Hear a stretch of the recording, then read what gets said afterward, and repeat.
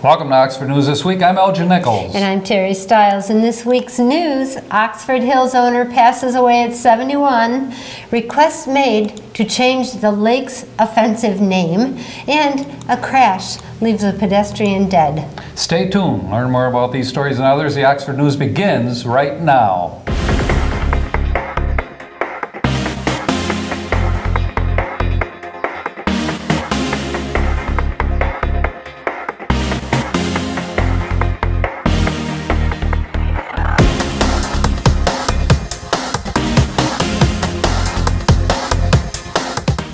A 63-year-old Oxford Township man died October 29th after being struck by a vehicle driven by a 21-year-old Metamora man. The Oakland County Sheriff's Office said while it was early morning and still dark, the victim had a light and was walking his dog when he crossed Drahner in a non-crosswalk location. Investigators said that he was hit uh, near the double yellow line in the center of the road.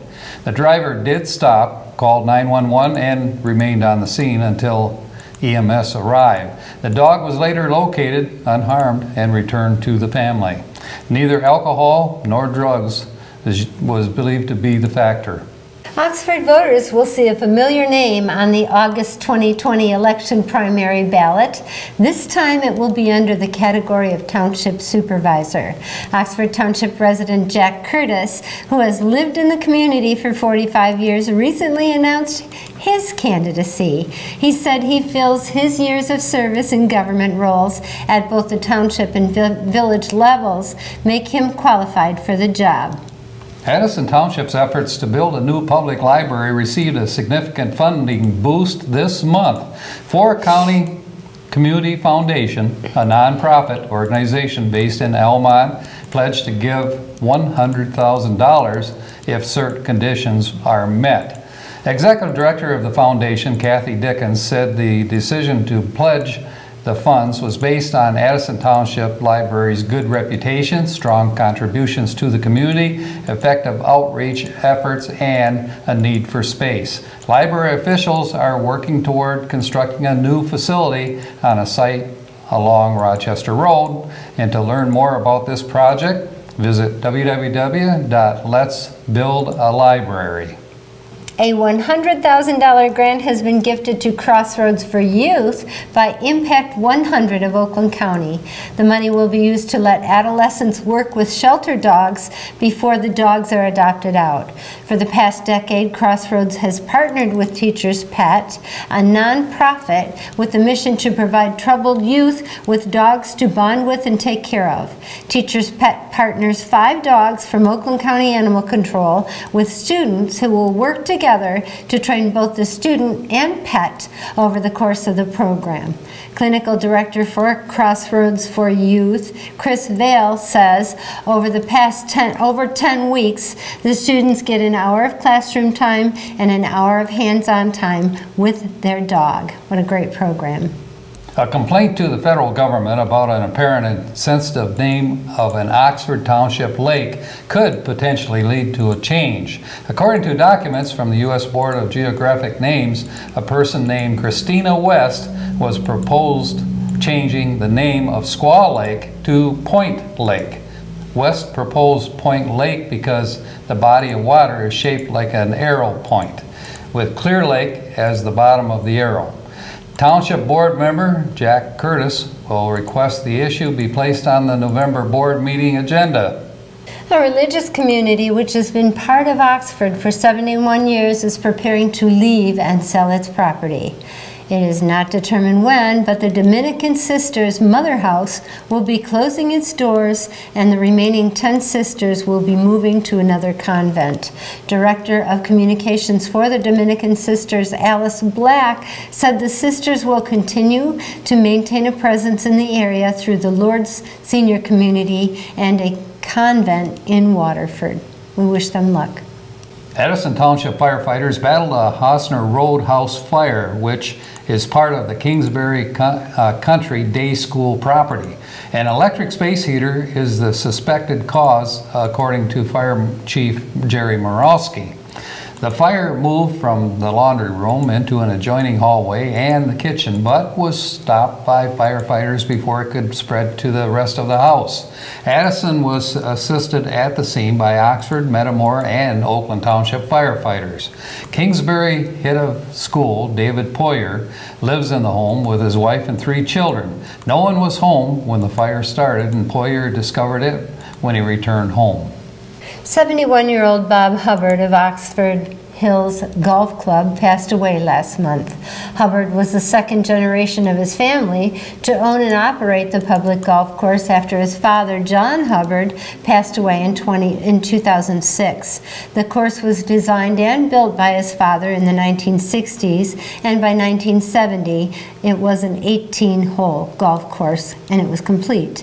To learn more about Hubbard and his life, please see his obituary at the Oxford Leader. The weekend before Halloween, the Oxford Township Parks and Recreation Department held its annual Jack-o'-lantern Jamboree in Oakwood Lake Park, which turned out to be a good success with over 90 tickets that were sold. Kids went trick-or-treating, enjoying apple cider and donuts, donut holes, then picked a pumpkin from the patch. If you would like to see how it went uh, and, and watch our community access this week to get a peek. That was cute. I got to edit that together, and they, uh, that was cute. There were quite a few people out there. I was surprised. It was kind of a chilly day, and good for Parks and Recs. It's They been a chilly day. oh boy, I'll tell you. Several chilly So we just passed Halloween, and it got really chilly that night. Yes, it And did. from what I understand, quite a few people were without power the day after Halloween. Well, we're very fortunate. We're- In our subdivision, all the power is underground, so we don't have any Oh, issues you have one of those newer subdivisions. Yeah, well, kinda, yeah. I live out in Ortonville, and usually if you go, the power goes out. I see, one of those. Hey, I want to ask you about the change of the uh, name of the lake. What do you think of that? Oh, I'm not happy about that at all. Hmm. Number one, I have some Native American blood in me. Yes, you do. And we're wiping out the Native Americans. You can't say the Chiefs anymore. You can't say the Chippewas anymore. You, Squaw Lake. What is wrong with that? That's what the Native Americans Mm-hmm. called their women. That doesn't, it's not derogatory. I'm not offended by it, and I have Native American blood. I went to funerals when I was younger, and I thought I was on a reservation. Mm-hmm. Um, it didn't, I, I'm not, I, I have never been offended by that name. And if you're going to change the name of it, why call it Point? When, if it looks like an arrow, call it Arrow Lake. But it, leave it alone. I, that's ridiculous. I'm so tired of being woke and politically correct. Right. Where our history is disappearing. It's crazy. I mean, they're uh, destroying statues. I mean, uh, it's all history. I mean, it is. It was what it, it was, and it is what it is. That's right. That, So- and, and how are we going to learn from our history if we get rid of it? You're going to rewrite history, and that's not the way history is done. I don't believe. That's not what I was told. It never anyway has been till now. I don't know what's going on. Uh, it's crazy. I'm not offended by that. And I've been an Oxford resident and lived in, and worked in Oxford my entire adult life. I'm not offended by it. So, Miss West, maybe you would want to do a little poll and see if people are offended, or Jack Curtis. I know Jack's going to put it on the agenda. Um, I don't want to be at that meeting and get all upset, but I just can't even understand You wonder. that, being offended by that. You wonder really if she has any um, native uh, ancestry at all in her family. Um, I if she it. did, I can't understand why she would be offended by that because um, that's what the Native Americans Mm-hmm. called their women. It's like us calling Mrs. or Mm-hmm. us saying, my mother was a woman or my Mm-hmm. mother was a mother. It's part of their language. So she's saying, let's wipe out the language of the Native Americans. Mm-hmm. Wait, who was here first? Right. Are the Native uh, uh, Americans are they uh, complaining about this? Probably not. I'm not. Uh, and I have one thing to I'm say about complaining that it's gonna be Na- changed. Native Americans uh, seem to have their act together out there, so I don't know why they know want how to not change to things like offend one another. I Yeah. mean, that was their entire purpose in life. Right. And At any rate, there's my opinion again. You got my opinion. And that's it for Oxford News this week. If you'd like to learn more about these stories and others, you can pick up a copy of the Oxford Leader newspaper. And let me say, congratulations, CJ, on opening up a new portion of his life. You're mm-hmm. going to be missed. But you can catch us on our website at occtv.org, on YouTube, and of course our regular channels, Spectrum, Channel 191, and AT&T Channel 99. And coming up soon, OCTV's very own Cody Wright with school sports and school news incorporating great topics with Alexis Ware and River Tuck. And you won't want to miss Auto Talk and Science in the News with Dave Kenny. I'm Terry Stiles. Thanks for watching Oxford News this week, where we bring your news closer to home. And I'm Elgin Nichols. Remember, always be kind to your friends and neighbors, and thanks for watching. Welcome to Science in the News. I'm Dave Kenny, and these stories are taken from the publication New Scientist. In our first story, up to 630 million people are living on land threatened by flooding from sea level rises by the end of the century, three times as many as previously thought, according to a new analysis. The greatest increase in the risk was found for communities living in Asian megacities due to the way earlier estimates were worked out. To us, it's a staggering difference. It's a completely new perspective on the scale of this threat, says Benjamin Strauss at Climate Central, a New Jersey based independent organization. Previous calculations of the number of people at risk have been based on estimates of land elevation around the world using satellite data from NASA. But that approach gets confused by rooftops and forests, which can be mistaken for the ground, meaning a skyscraper packed city such as Shanghai could look at a misleadingly low risk of flooding as seas rise. Strauss and his colleague, Scott Kulp, have used artificial intelligence to train a model on several sets of data, including much more accurate maps of the elevation in the U.S. captured by planes using laser light. The model predicted where the old data was making mistakes and tried to flatten the errors caused by buildings and trees to reassess the vulnerability of cities. The results suggest that there are far more people living on land below annual flood levels now at 250 million people versus estimates of the old data of up to 65 million. As global warming causes sea levels to rise, that quarter of a billion jumps to as many as 630 million by 2100, assuming a future in which greenhouse gas emission rises are high. The biggest relative increases by the end of the century are in Asia, with 87 million people in China on at risk land versus 26 million in previous estimates. And in Bangladesh, the number is 50 million, up from 5 million. The old approach may have been heavily mis underestimating risk in the region because of the dense tall cities around Asia's coastlines. Kulp says there are two big caveats. They did not consider sea defenses and future populations. Nevertheless, Strauss says the findings should act as an early warning call for governments and city leaders.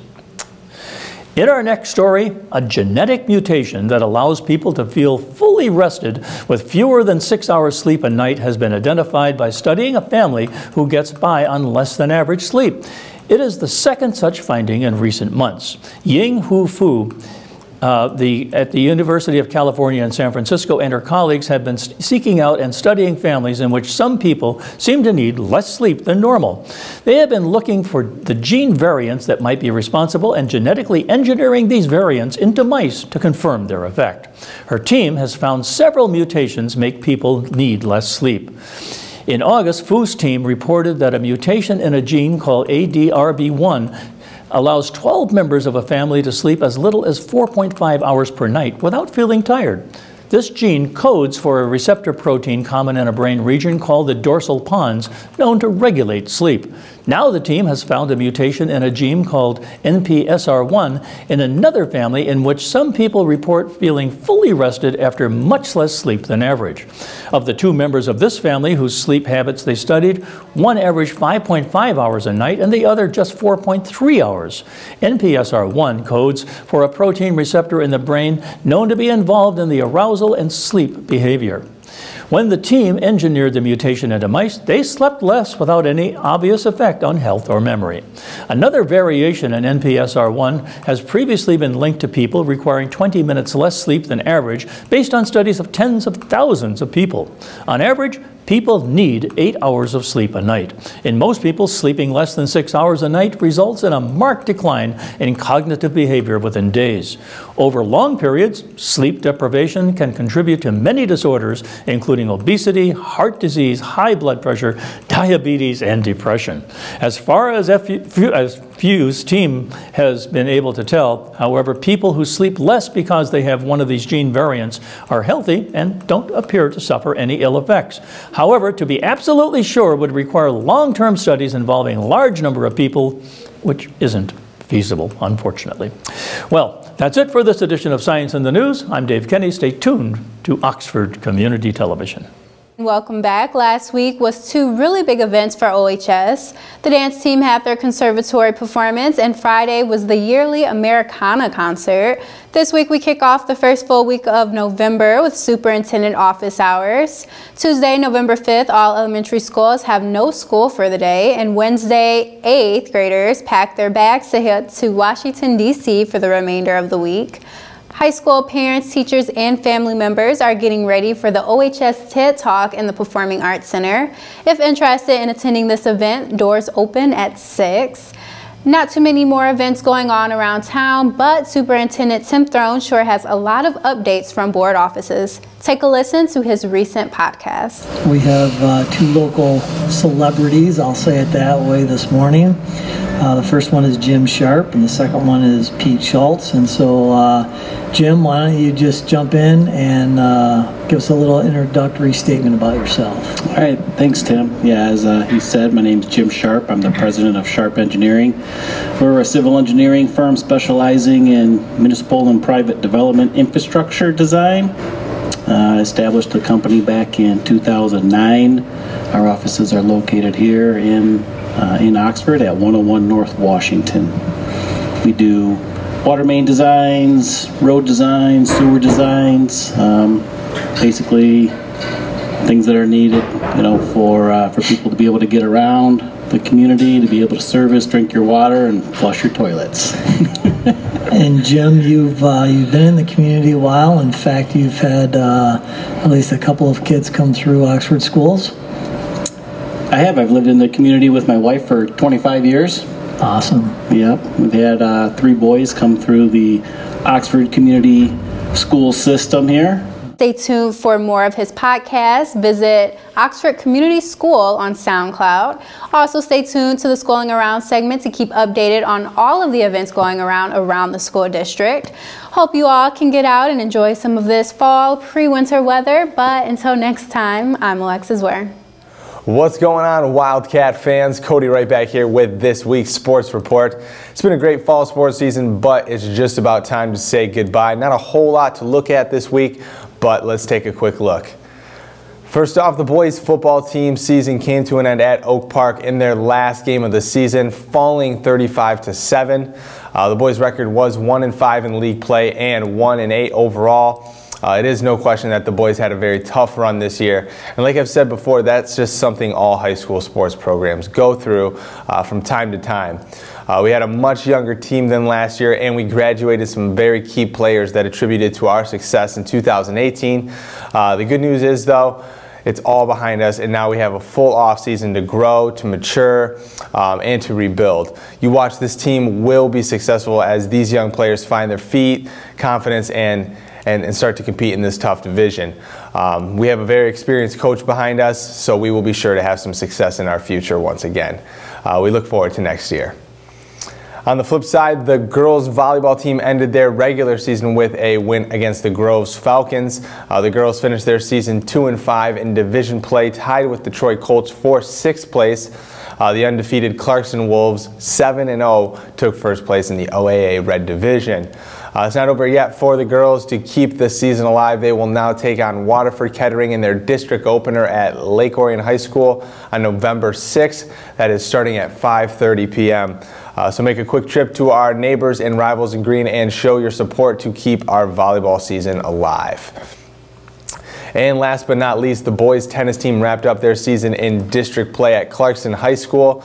Uh, even though the season is over, there is still some uh, some things to congratulate on. Senior Hayden Durant was named All League number one singles. Uh, senior Cam Numbrew was named All League in the number four flight.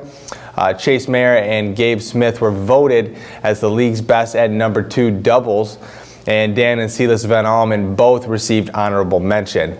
Uh, this is certainly something to be proud of, and it speaks for the depth of our team uh, that we had with us this season. Uh, like I said, it's just about over for our fall sports. Soon we will be diving into winter action with basketball, wrestling, hockey, swim, and more. Uh, not much time for a breather. We still have a full season or a full two seasons uh, ahead of us for Oxford sports.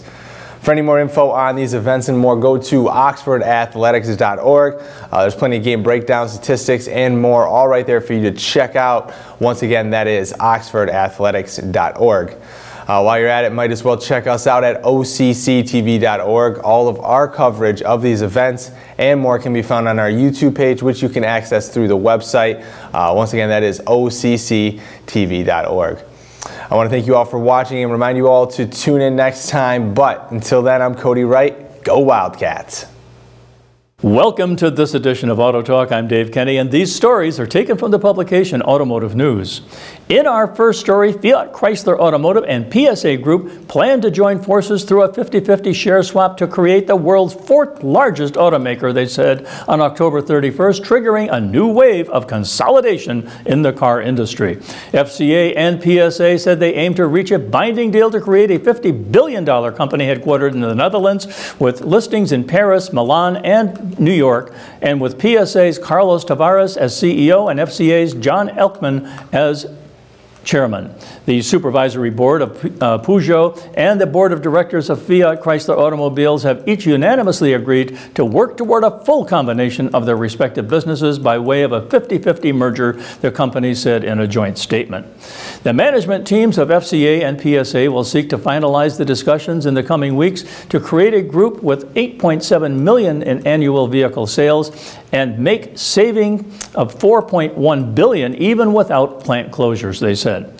The group will include the Fiat, Dodge, Ram, Chrysler, Alfa Romeo, Maserati, Peugeot, DS, Opel, and Vauxhall brands, allowing it to serve mass and premium passenger car markets as well as trucks and light commercial vehicles.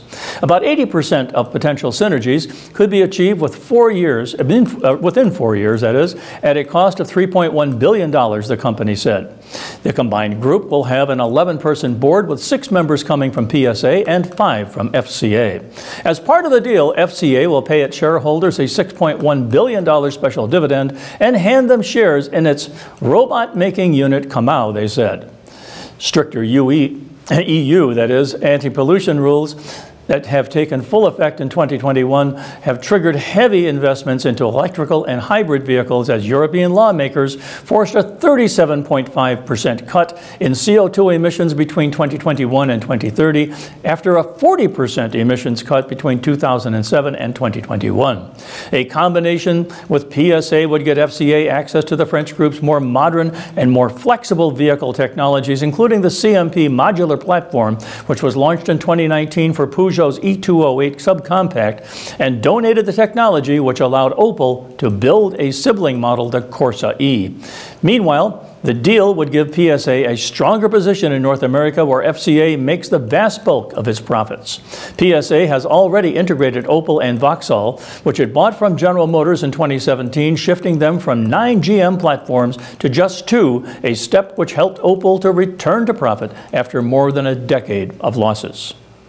And on the recall front, General Motors is recalling 638,000 SUVs and pickup trucks because a wheel speed sensor could fail and cause unintended braking, it said October 31st. The recall covers 2015 to 2020 Chevrolet Suburban, Tahoe, and Yukon, and 2014 to 2018 Chevrolet Silverado 1500 and GMC Sierra 1500 vehicles equipped with a 5.3 liter engine, a 3.08 ratio rear axle, and four-wheel drive. The sensor failure could result in unintended unintended activation of the driveline protection system and cause unintended braking of the wheel on the opposite side of the failed sensor.